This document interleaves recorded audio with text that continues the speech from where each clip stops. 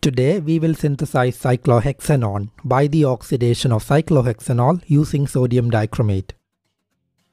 Please take a note of this important warning before attempting this synthesis and do it on your own risk. Chemicals that you will need for this synthesis are 25.5 grams of sodium dichromate, 22 grams that is 12 milliliters of 97% sulfuric acid, 12.5 grams of cyclohexanol and approximately 50 milliliters of diethyl ether. Place a 500 milliliter beaker on a hot plate stirrer with a stirring bar inside.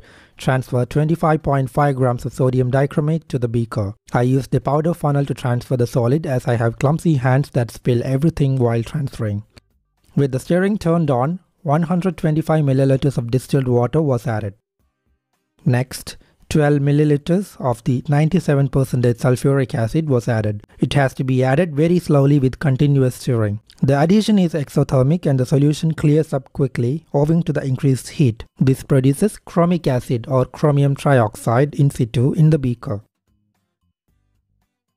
Before the next step, adequately cool the chromic acid mixture to the room temperature. Now, 12.5 grams of cyclohexanol was taken in a 250 milliliter conical flask and placed on a hot plate stirrer with a stirring bar inside.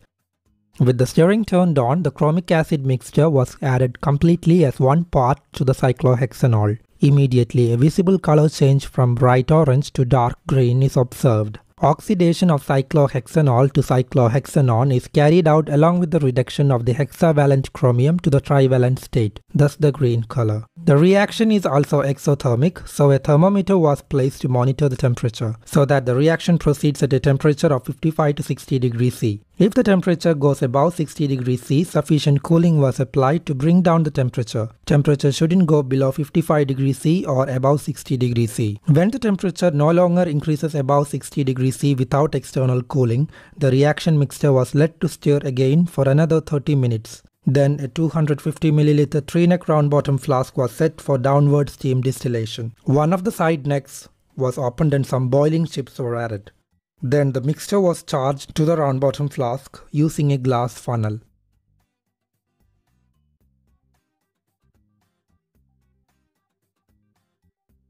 Water pump was turned on and circulated in the condenser. The product cyclohexanone will distill out along with water vapor. Heating mantle was cranked up to maximum heat and the distillation was started. Soon the vapor front started climbing with the cyclohexanone and it was collected in the receiving flask. Distillation was continued until about 75 milliliters of the distillate was collected.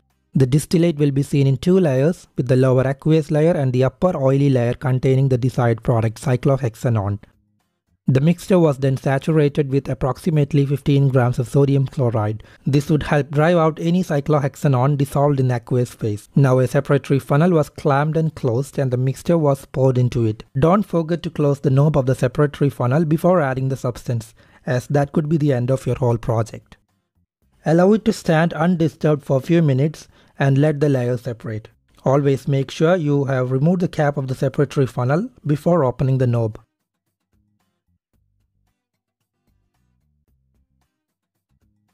The lower aqueous layer was added back to the separatory funnel and approximately 15 milliliters of diethyl ether was added on the top.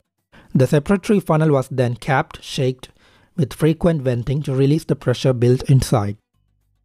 It was placed back on the stand and the layers were allowed to separate. Ether formed the top layer.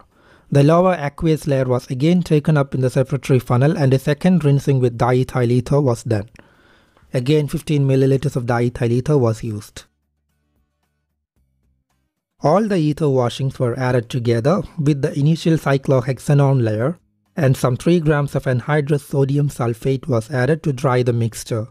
A flash distillation was then carried out to remove the diethyl ether.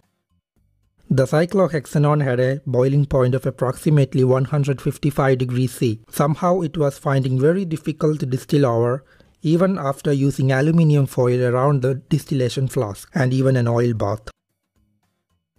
Finally, I decided to use my heat gun and it quickly boiled and distilled over.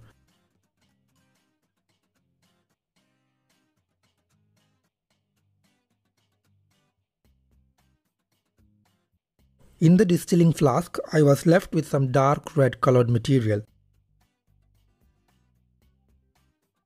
In the receiving flask, I got the nice crystal clear cyclohexanone.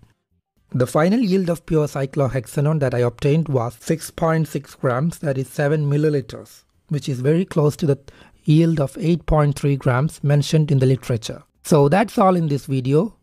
These are my Patreon supporters who are financially supporting me so that I am able to purchase new equipments and chemicals required for doing new videos. You can also support me via Patreon or PayPal. The links of both of them are in the description. If you can support me via the Super Thanks tab, the tab is provided below the video. Thanks for watching, do subscribe to the channel and click on the bell button for notifications regarding my future videos.